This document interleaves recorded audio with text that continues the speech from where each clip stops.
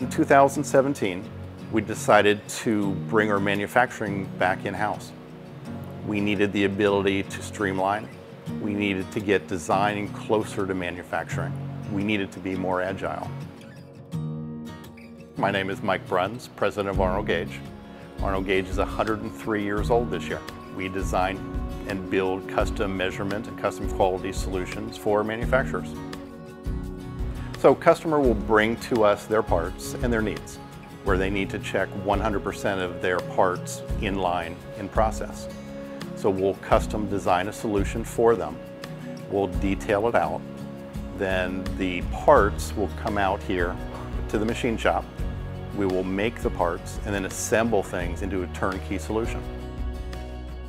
So the VF2 was a great fit for us. It allows us very easy setup and integrates very well with design. We don't have to wait two to three weeks for the print to go to an outside job shop to negotiate you know, the PO. We can have a need for a part and have it made in the same day. The VF2 was so effective for us, we were bringing more and more and larger, more complex parts in-house. So we then added a VM3 to allow us to handle the higher volume and the larger workspace for our larger parts. We were also looking to make masters at that point, so the accuracy of the VM3 allowed us to make higher precision, tighter tolerance parts. So as we were vertically integrating more of our parts, we saw the need to integrate uh, turning. So the ST15 was a great fit for us.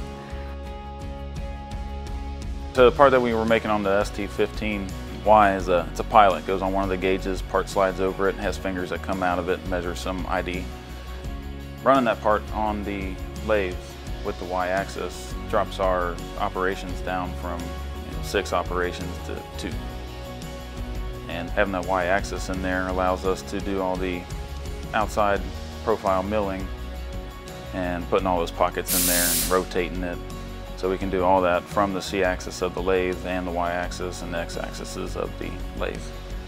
So it'll go get heat treated and it'll come back and we'll hard turn it and we'll have to hold a tolerance of about plus or minus two tenths. And uh, the STY holds it well. Part comes off perfect every time.